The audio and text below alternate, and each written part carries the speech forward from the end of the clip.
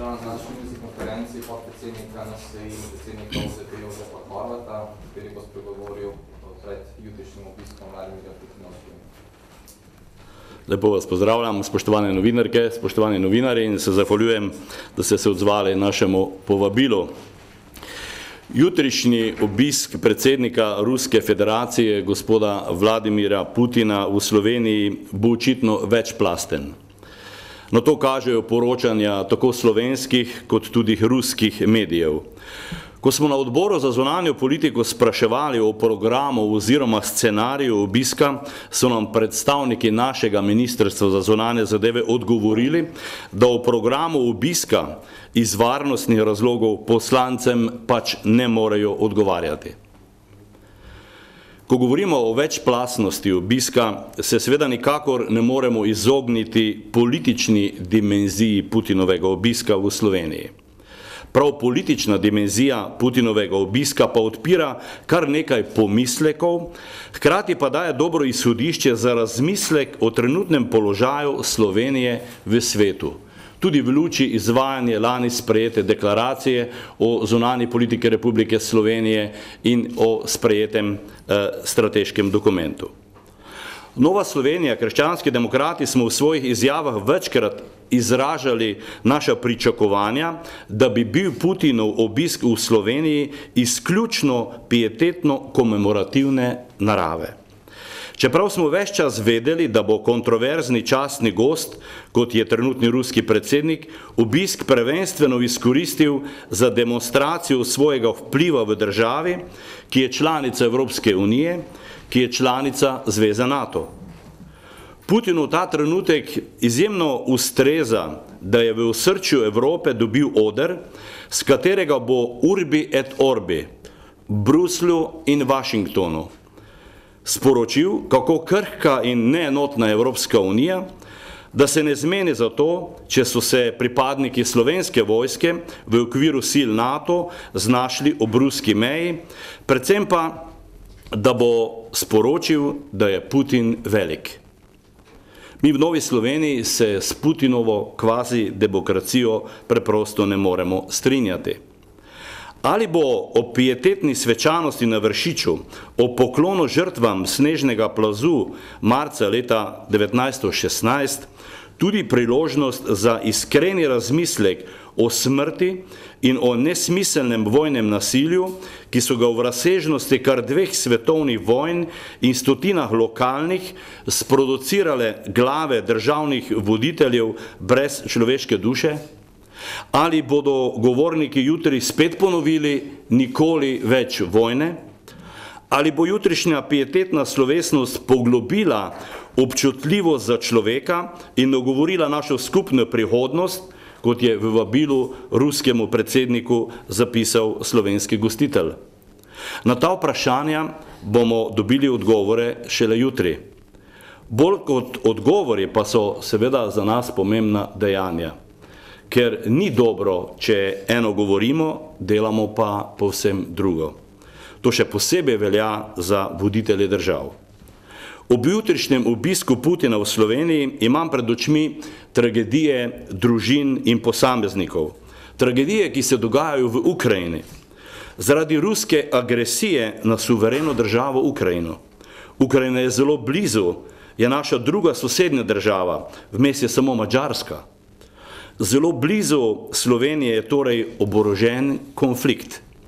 Pred očmi imam milijon osemsto tisoč notranje razseljenih oseb iz Krima in Donbasa, 20 tisoč ranjenih od začetka ruske agresije na Donbas, 10 tisoč pobitih po poročanju mednarodnih organizacij, 2800 mrtvih ukrajinskih vojakov od začetka agresije, 474 kršitev premirja se strani ruskih agresorjev samo v tednu od 15. do 21. julija, kot poroča Ministrstvo za obrambo Ukrajine.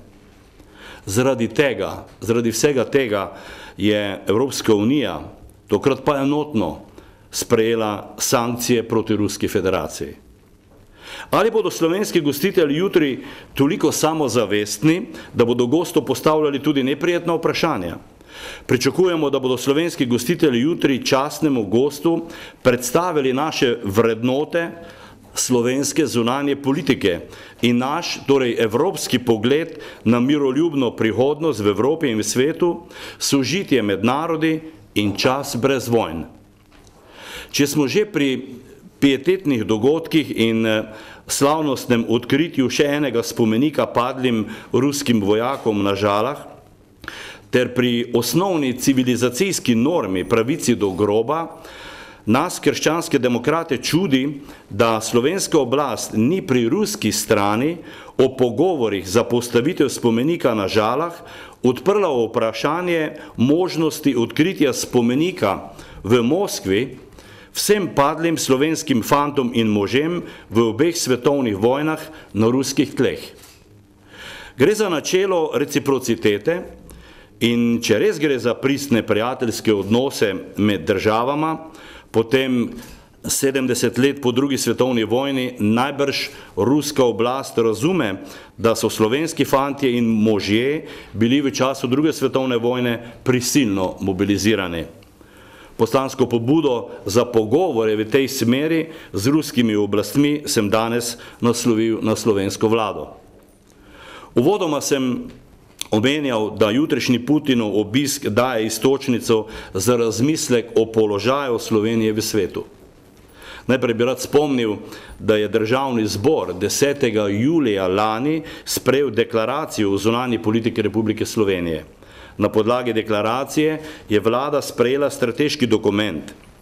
Na podlagi zelo jasne referendumske odločitve državljank in državljanov smo v deklaraciji zapisali – da predstavlja članstvo Republike Slovenije v Evropski uniji naš temeljni vrednostni in politični okvir za zagotavljanje blaginje in temeljnih pravic. Članstvo v NATO pa predstavlja naš temeljni okvir za zagotavljanje nacionalne varnosti. Občutek je, pa ne samo ob jutrišnjem obisku predsednika Ruske federacije v Sloveniji, da Slovenija v svoji zonalni politiki ne drži svoje jasne linije, ampak s svojimi, včasih tudi nepremišljenimi, solističnimi potezami krši pravila igre, ki so jasno dogovorjena v zavezništvo NATO in v Evropski uniji, s tem pa seveda škodi predvsem lastnim interesom.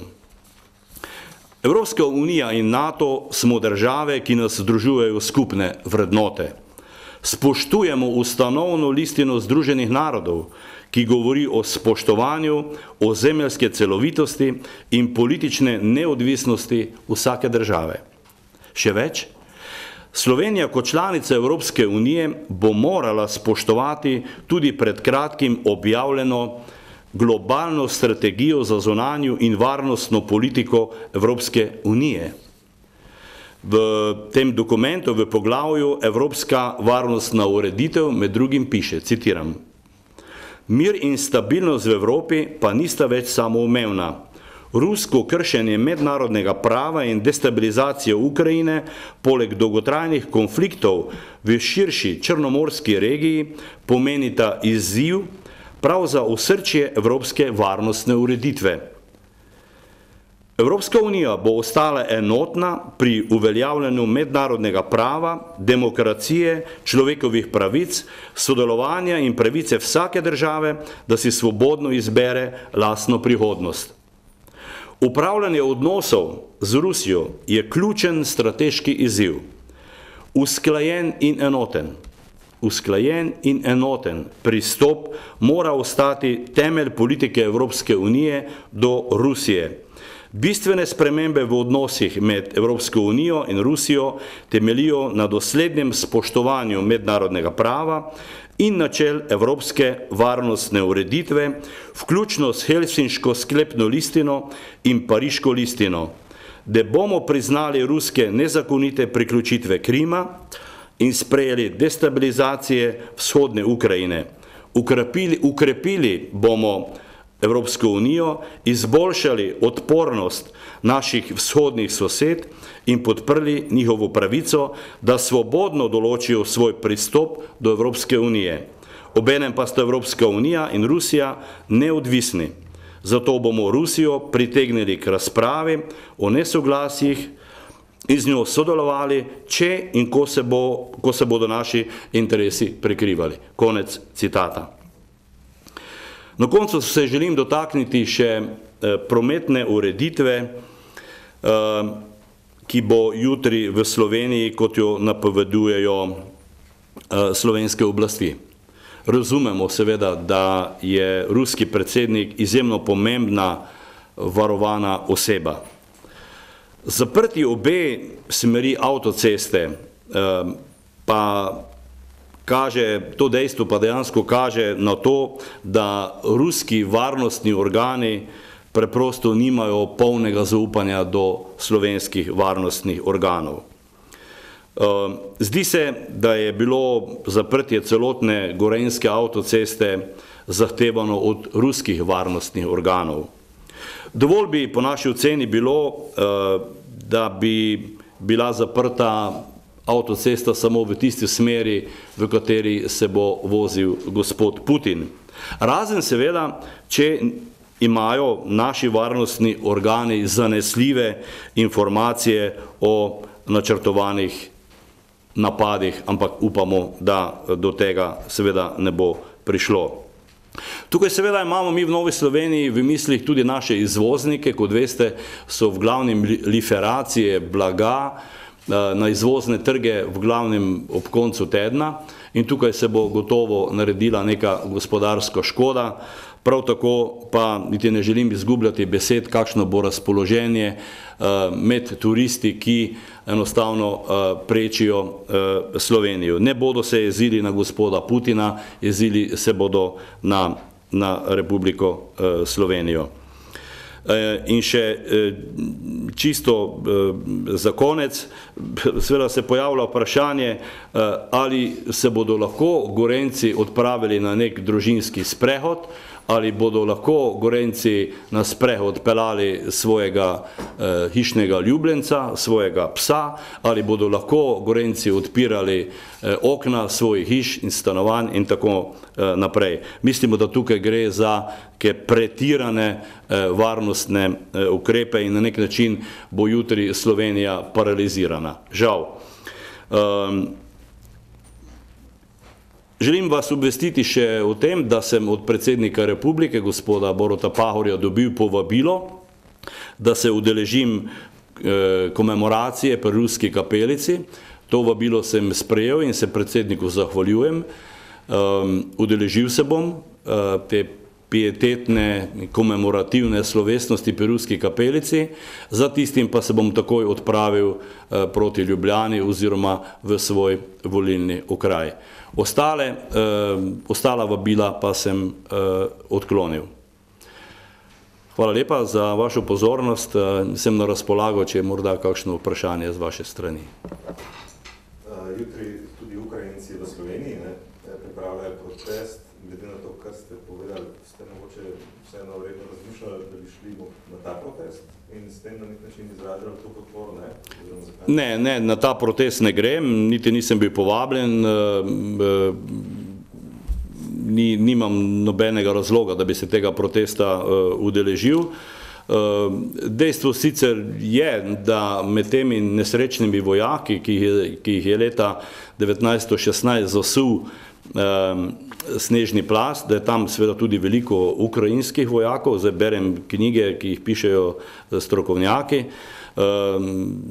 Morda nezanemarljivo je tudi dejstvo, da je ta kapelica, ruska kapelica, morda bi bilo bolje, bolj točno, če bi se imenovala ukrajinska kapelica, ker je zgrajena dejansko po tipični ukrajinski sakralni arhitekturi, posvečena pa je svetemu Vladimirju, ukrajinskemu carju, ki je v Ukrajino prinesel krščanstvo.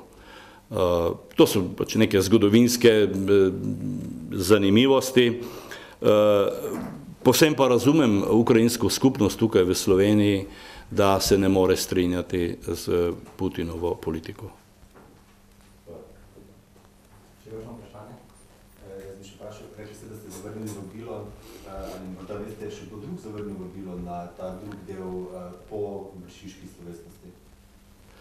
To pa, teh informacij pa nimam, um, tako da žal vam tu ne morem dati uh, odgovora. Morda veste, kdo se bo pa vse udeležil? Glede na to, da so zelo skrivnostni o udeležbi na tej večerji na Brdu. Uh, tam bi se, te večere bi se naj udeležil um, politični vrh uh, Republike Slovenije. Uh, moram reči, da so mene iz urada predsednika republike kontaktirali, če bi se bil pripravljen udeležiti te večerje, uh, vendar sem potem po tehnem razmisleku se uradu predsednika republike zahvalil za povabilo. In ravno tako ste vabljeni, če sem prav razumel, na žale in ste. Na žale pa je vabil um, veleposlanik Ruske federacije in uh, sem se zahvalil.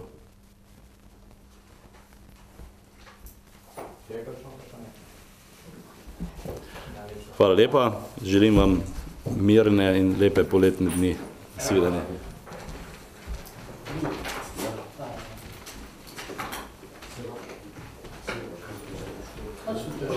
Just is the event partner. You should